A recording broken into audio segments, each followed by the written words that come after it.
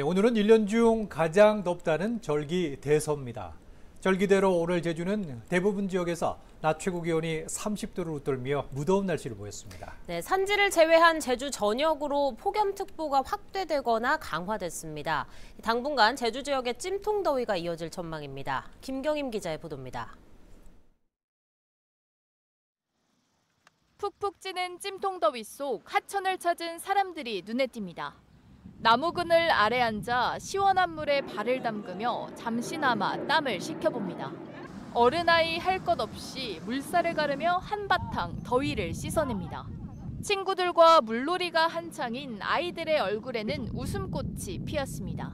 이제 고등학교도 되고 이제 자주 못 만나니까 이제 저희 집 근처에 있는 월대천 모여서 다 같이 놀려고 만났습니다.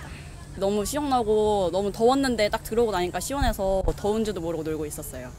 용천수가 샘솟는 노천탕은 시민들에게 인기 만점입니다. 돌담 사이로 투명하고 맑은 물이 쉴 새 없이 흐릅니다. 얼음장같이 차가운 물에 온몸을 담그면 무더위에 지친 몸과 마음은 어느새 잊혀집니다. 시원한 물이 아니고 썰렁한 물.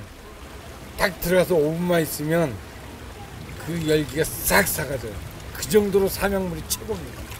1년 중 가장 덥다는 절기상 대서인 오늘.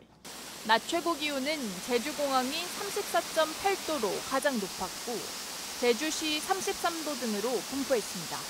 낮 동안 자외선이 강하게 내리쬐면서 대부분 지역에서 체감 온도가 33도를 넘었습니다. 연일 이어지는 무더위에 특보가 강화되거나 확대되면서 산지를 제외한 제주 전역에는 폭염특보가 발효됐고 밤에도 기온이 충분히 떨어지지 않으면서 열대야가 나타날 가능성이 큽니다.